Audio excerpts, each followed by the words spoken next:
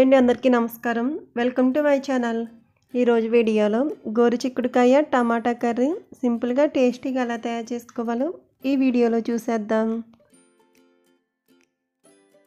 గోరు చిక్కుడుకాయ కర్రీ తయారు చేసుకోవడానికి ఇక్కడ గోరు చిక్కుడుకాయలు తీసుకుని శుభ్రంగా కడిగిన తర్వాత ఈ సైజులో ముక్కలు కట్ చేసుకుని పెట్టుకున్నాను. ఇప్పుడు వీటిని ఉడికించుకోవడానికి ఒక బౌల్లో వేసుకుని అందులో వాటర్ పోసుకుని ఒక పొంగు వచ్చే వరకు గోరు చిక్కుడుకాయ ముక్కలను ఉడికించుకుని స్టవ్ ఆఫ్ చేసుకోవాలి. లేకుండా ఒక బెజ్జాల గిన్నెలోకి వేసుకుని పెట్టుకోవాలి. ఇప్పుడు కర్రీ తయారు చేసుకోవడానికి ముందుగా స్టవ్ మీద బాండీ పెట్టుకుని అందులో స్పూన్ దాకా ఆయిల్ యాడ్ చేసుకుంటున్నాను. ఆయిల్ హీట్ అయిన తర్వాత ఇప్పుడు ఇందులో పోపు దినుసులు యాడ్ చేసుకోవాలి. ఆవాలు జీలకర్ర అలాగే హాఫ్గా కట్ చేసుకుని ఎండుమిరపకాయ ముక్కలు దంచి పెట్టుకున్న వెల్లుల్లి రెబ్బలు కొద్దిగా మినపప్పు వేసుకుని వేగించుకోవాలి. దినుసులు ఇలా వేగుతున్నప్పుడు ఇప్పుడు ఇందులో హాఫ్గా కట్ చేసుకున్న పచ్చిమిరపకాయ ముక్కలు కొంచెం కరివేపాకు అలాగే సన్నగా కట్ చేసుకున్న ఉల్లిపాయ ముక్కలు వేసుకోవాలి. రెండు నిమిషాల పాటు పచ్చివాసన పోయే వరకు వేగించుకోవాలి.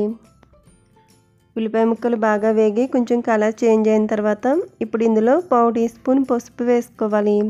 అలాగే రుచికి సరిపడా ఉప్పు వేసుకోవాలి. ఇప్పుడు ఇందులో స్పైసీకి సరిపడా కారం కూడా వేసుకోవాలి. ఇవి వేసుకున్న తర్వాత ఇప్పుడు ముందుగా ఉడికించి పెట్టుకున్న గోరు చిక్కుడుకాయ ముక్కలు వేసుకోవాలి. అలాగే సన్నగా కట్ చేసుకున్న టమాటా ముక్కలు కూడా వేసుకోవాలి. ఇప్పుడు వీటన్నిటిని కూడా ఒకసారి కలుపుకుని రెండు మూడు నిమిషాల పాటు ఆయిల్లో మగ్గించుకోవాలి.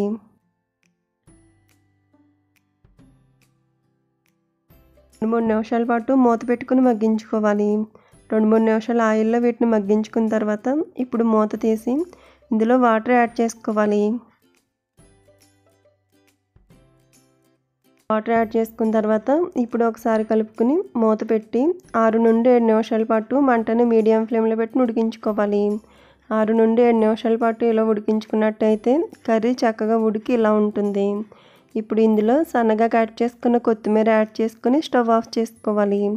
ఇలా వండినట్టయితే ఈ గోరు చిక్కుడుకాయ టమాటా కర్రీ అన్నంలోకి అలాగే చపాతీ పులకాల్లోకి కూడా చాలా బాగుంటుంది.